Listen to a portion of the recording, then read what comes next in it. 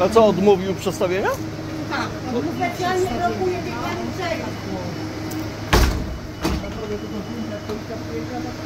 No i co, na Facebooka, TikToka, kurwa, kurwa, Facebooka, kobieto, weź, masz prawo jazdy, masz prawo jazdy, masz prawo jazdy, ma pani prawo jazdy, Bo ja nie ma pani prawo jazdy, kurwa, no ja też to nie płacę, dojechać do parking. Naprawdę? No to to że się nie zmieszczą.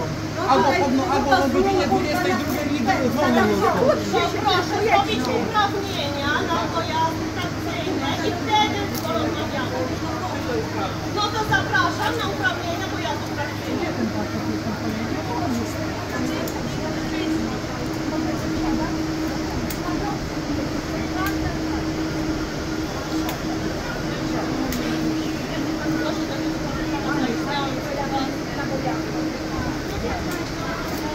Jeżeli ktoś nie ma uprawnień, to ja zapraszam.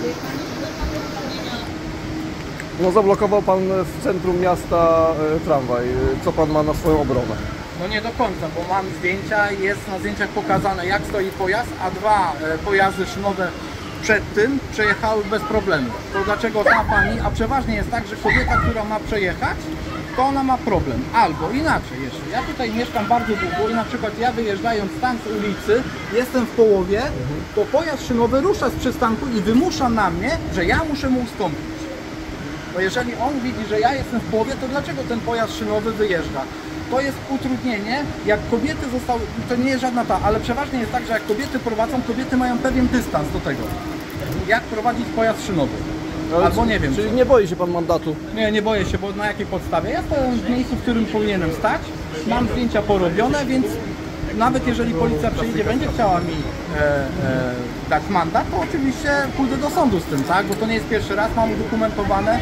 Wcześniej już było też wezwana była policja, e, przyjechała straż miejska, pojazd stał w miejscu, w którym stał.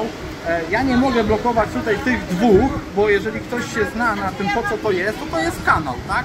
Tego się nie blokuje, bo gdyby była teraz ulewa, by padał deszcz, to to jest odpływ dla wody, że woda wpływa też. Czy ja mogę to blokować? Nie. Żaden pojazd tego nie blokuje. Żaden pojazd tego nie blokuje. Okej, a przedstawi się pan też? Eee, jestem Jacek, mieszkaniec Jacek, okej, dobra.